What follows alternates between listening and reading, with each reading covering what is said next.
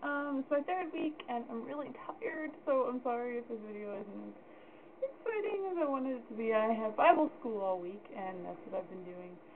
Um, that's what I was doing this morning. I had to get up at 7, and it's really fun, though. I got to play God today. It was awesome. I got to tell Moses to let my people, or to free people from Pharaoh. Anyway, um, okay, so I have a few things I want to talk about today. Let me see if I can get to it now. Um, so I was trying to think of a video for this week, and I was looking at the related videos from the video I showed you last week, and I came across this channel. Like I'm doing a whole channel. Of course now I can't find it. There it is. Okay. Um, it's called Improv Everywhere, and if you're a big YouTube person, you've probably already seen it. But I stopped playing. But I haven't seen it. It's really, really cool. Um, I it it's called Improv Everywhere. Go go watch videos. I I can suggest a couple. So I really liked um like Frozen and Grand Central. I really liked Food Court Musical. Um, and I really like the MP3 experiments. They're really cool. You gotta go watch them. Um, okay, let's see. Let's read about um, Improv Everywhere. It says, Improv Everywhere causes scenes of chaos and joy in public places. Created in August of 2001. See, like I said, you've probably already heard of it, but I hadn't, so I'm sharing it with you um, by Charlie Todd, i.e. Has, has, wow, I cannot read today, I'm tired, I told you I was tired, has executed over 85 missions, including thousands of undercover agents. The group is based in New York City. And they also have a website, and apparently they have a book. Um, I don't know anything about the book, I haven't read the book. They have a Facebook group, they have a Twitter, so yeah, go watch it and join it, and possibly, I'm thinking about maybe if I can get the book somewhere. I don't really want to pay for it. they also have a DVD, which has other stuff. It's pretty cool. Um, so yeah, that's my first suggestion. My second suggestion is really corny. It's a video that I really just discovered. It's only if you're a Twilight fan. So if you're not a Twilight fan, you should probably stop watching. Maybe I don't know. Um, but yeah. Um, just because I'm a Disney geek.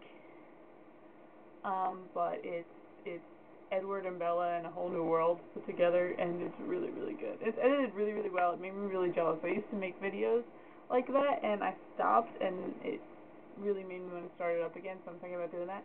Um, but I looked at her channel, and I'm also going to post a link to that in the sidebar, along with the Improv Everywhere. Um, watch her videos. They're really good. Like, they're really, really good. Like, she's, she's good. Sorry. Repeating myself a lot. Um, yeah. So those are my YouTube suggestions. And last week I said um, something about books, and my friends were like, "Yeah, you should do a book." But I'm gonna probably do mostly series because I'm in the middle of so many series, and like it's really hard to talk about like the first book because I'm like on book like five or whatever, and I don't remember everything that happened in the first book or how to talk about it as well. So I'm just gonna talk about like the series in general. Um, sorry. The first series I'm gonna talk about is called um, the Jaz Park series. And this is the third book because it's the one I just finished reading and I got them out of the library, so I don't actually own any of them, but I can show you this one. It's called Biting the Bullet. The first one is called Once Bitten, Twice Shy. You can't, you can't really see it. but And the second one is called Another One Bites the Dust. And they are, I haven't read the fourth or fifth one yet, but so far they're amazing. Um, the heroine, her name is Jaz Parks, but she um, sort of like is CIA. So her she go, also goes by Lucille Robinson. Um, and her boss is a vampire, and he's yummy as most vampires normally are. But um, my mom's on the phone. Sorry. Um, but like I didn't, I wasn't too sure about him at first. Like I kind of liked him, but I didn't. But this book, I fell in love with him. So yeah. Um, and she's an assassin, and like she is also sensitive, which means that she can like sense things that aren't human. It's pretty cool. And like she has like this whole team of random people who are awesome. And so far, I think this is my favorite one in the series. And I added the Um, I'm doing my video. Okay, Andrew's I'm not on, okay, okay, I'm on, I'm, you're filming right now. Tell me later. Okay. Anyway, um, yeah. So I added the I added the author on Facebook, and she sent me a message because I quoted um Jaz Parks in my little you know little side thing on Facebook, um like under your picture or whatever. It says write something about yourself. I quoted her. Anyway, I added the author, and she was all like, "It's nice to meet you," blah blah blah. You know, an awesome Jaz Parks quote. You know, yay! And she sent me like little flowers as a gift. So she's really cool, and it's got all kinds of creatures in it. Like this one had um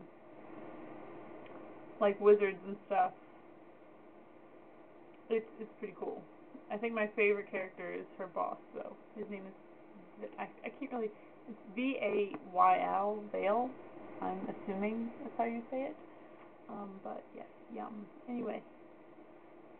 So that probably made my video longer and a bit more exciting. I'm gonna stop waving that around than last week, especially because my mom walked in. Um, yeah, so, um, have fun the rest of the week. Again, I have no idea what anyone's talking about. But I think, I think random, Jessica, random person, I think you should talk about our awesome day at Blue Bayou and Dixie Landing. Yeah, think you should talk about them. I know that Carmen talked about leaving Brightside, but still. Um, yeah. I think I'm done. Okay. Bye.